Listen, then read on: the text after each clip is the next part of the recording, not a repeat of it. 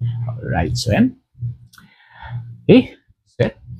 Magandang gabi nga po pala sa inyong lahat. Sa mga kababayan ko nga po pala niya sa Pilipinas po, magandang gabi po sa inyo. At sa mga kababayan ko na rin pong OFW, magandang gabi po sa inyo. Kung gabi man sa inyo, magandang araw po kung araw po sa inyo.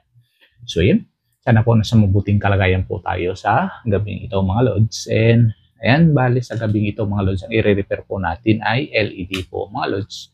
Sorry, sorry. LED power supply mga lods. So yan. So actually ito po ay ginagamit po namin hindi lang po para sa LED ay ginagamit din po namin para sa CCTV po mga lods. Okay. Power supply ng CCTV mga lods. Ayan. At bago nga po pala tayo mag-umpisa pa, kung bago ka pa lang dito sa channel ito, huwag niyong kalimutan mag-subscribe po at pindutin yung notification bell sa baba po para lagi update sa mga susunod na video na ko. Okay, tara, umpisahan po natin. Alright, so yan. So, bali ito ang i-repair po natin yung mga loads. Okay. So, ito po ay 12.5 ampere po mga loads. 150 watts po mga lodi. Yan. 150 watts po siya. 12.5 ampere po siya mga loads. Right. Okay. So, test muna natin mga lodi.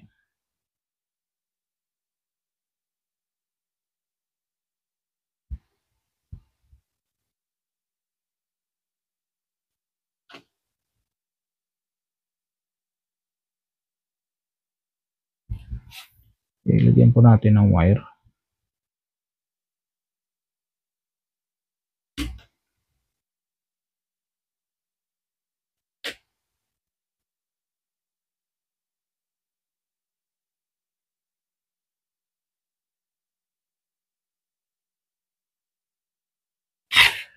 Okay, so lagyan po natin siya ng LED mga loads. Okay, dalawang positive and dalawang negative ang terminal niya mga lodi.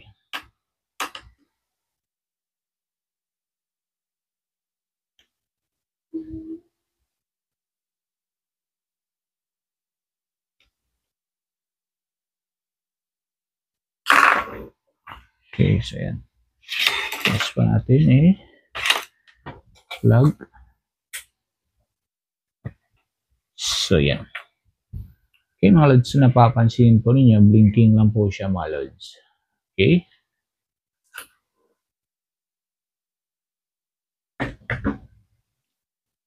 Ayan, yan. Check po natin yung kanyang volts, mga lods. Hmm.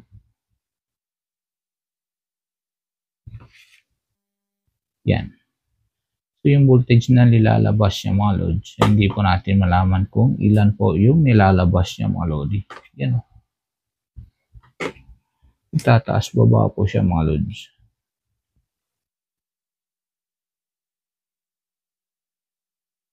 Yan. Okay. So, check po natin kung ano po yung problema niya mga lodi.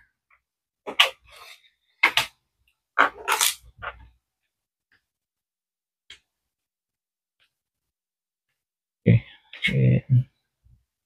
Yan. Yan muna natin mga loading. Paano po itong binubuksan mga loads.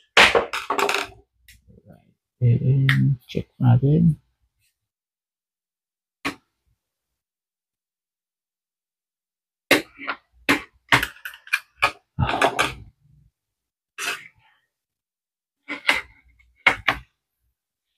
Uh.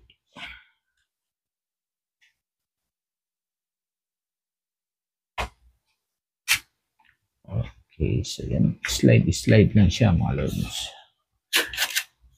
Yun, no? Okay, so maganda din pala pag ganito mga lods. So, ang pagtanggal po, slide lang po mga lodi. Okay na. Alright, so yan. So, napapansin po ninyo mga lods. Dito may apat po siya na capacitor mga lodi. Okay. Capacitor niya mga lods. Ayan, Bluetooth po mga lodi. Okay, Bluetooth din po mga lods. Okay, Bluetooth din po. Check natin yung last. Alright, so bali, apat po, lahat po sila mga loads ay Bluetooth mga lodi. Yun, no? So, apat mga lods. Okay. Okay, tatanggalin po natin muna.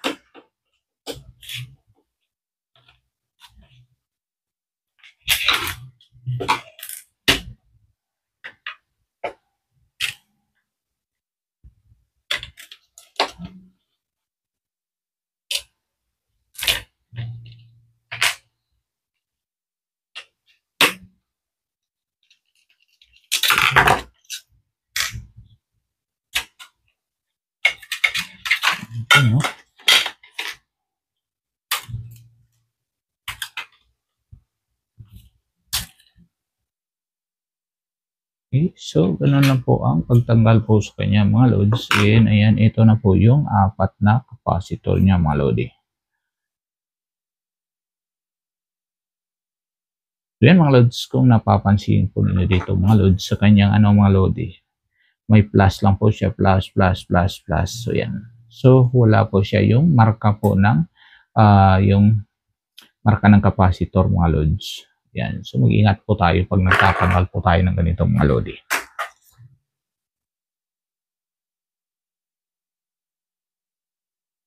Maari pong at uh, pwede po tayong magkamali dito mga lods. Pag nagkamali po tayo ng pagtanggal mga lodi.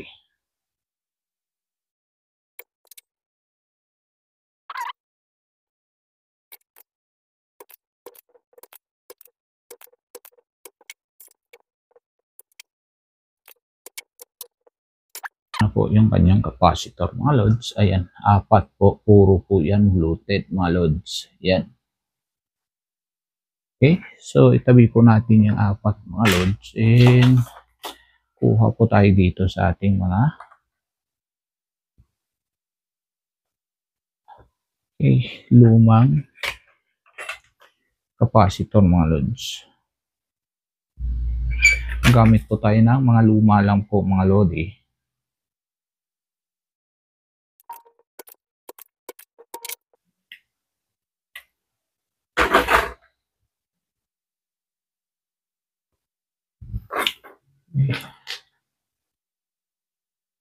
So yan po, mayroon na po tayong apat na 16 volt po mga loads. And yan, check muna natin yung ating ano.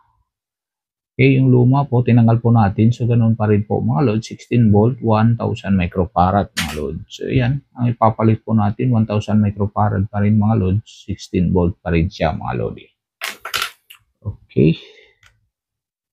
Yung problema po nito mga loads, ang ating ano po, maiksi po siya mga loads. At dahil nakahiga po ang paglagay nila mga lodi.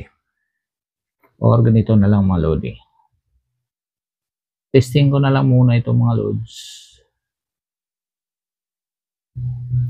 Hindi na po natin muna lagyan ng cover mga lodi.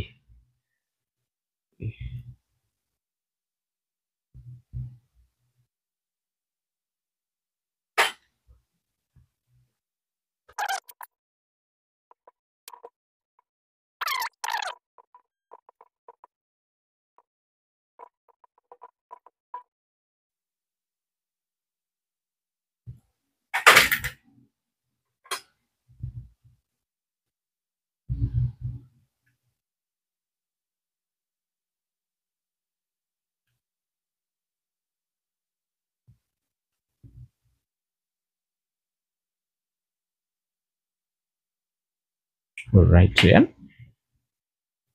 I-check na po na, uh, nilagay na po natin mga loads yung ating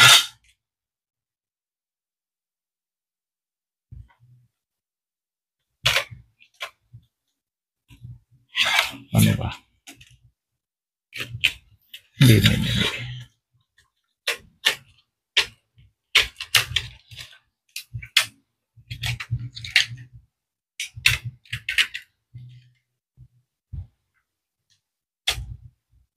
Okay, so yan.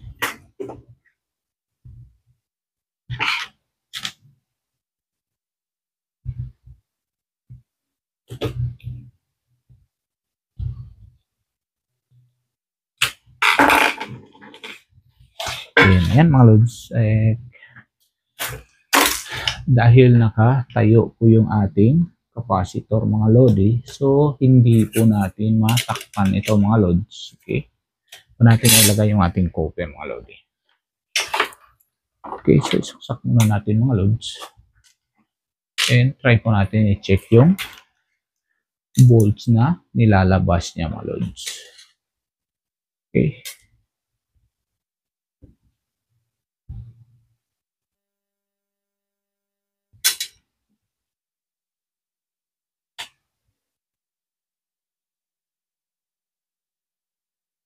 Yan. So yan, mayroon na po siyang 11 volts mga loads. Okay. Check po natin kung may potentiometer ba siya mga loads. Okay, dahil wala naman po siyang potentiometer mga loads. So, wala po tayong ma-adjust dito mga loads para ma 12 volts po siya mga loads.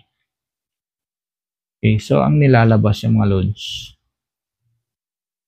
yan lang po talaga, 11.74 mga lodi. Yan, sa kabila. So, 11.74 pa rin mga loads. Okay, so try po natin i-connect eh, yung ating LED.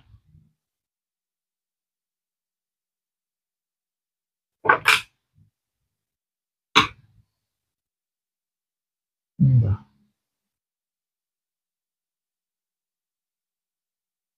Okay.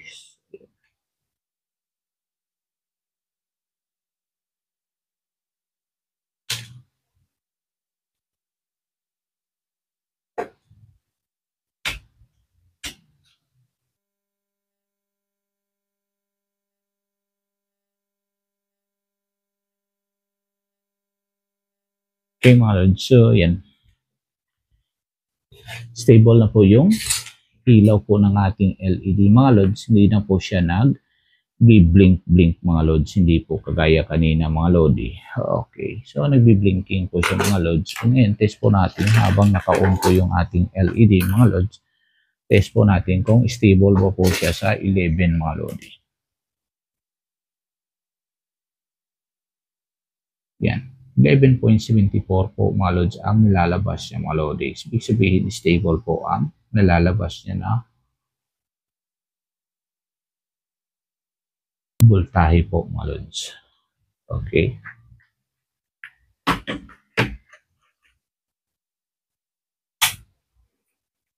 Right, so yan. Okay, so ibig sabihin lang po mga loads, ang sira niya po mga lodi, yung kanyang capacitor lang po mga loads. Okay, right, so yan. So yan mga loads, bale natapos na po natin, na-repair po natin yung ating LED power supply mga loads. Okay, so bale ayan, ginawa na lang po natin ang paraan mga loads para uh, may test lang po natin at malaman po natin kung ano po yung sira po yung mga loads. Okay, So yan at napag-alaman po natin na ang apat na capacitor lang po ay Bluetooth po mga lods. Ayan napalitan po natin pero hindi pa po natin maisarado mga lods dahil okay, hindi pa po final yung ginawa po natin mga lods. So palitan po natin ng bago yan mga lods yung ating capacitor mga lods. Yan. So ayan, ginawa po lang natin para sa uh, dito sa video purpose lang po mga lods. Ayan. Okay. At bago nga po pala ako magpaalam para sa mga hindi pa po nakapag-subscribe po, uh, paki-subscribe na lang po at pinutin yung notification bell sa baba po para lagi updated sa mga susunod na video na ina-upload ko. Maraming salamat po. Stay safe, stay creative. God bless you all. Bye-bye.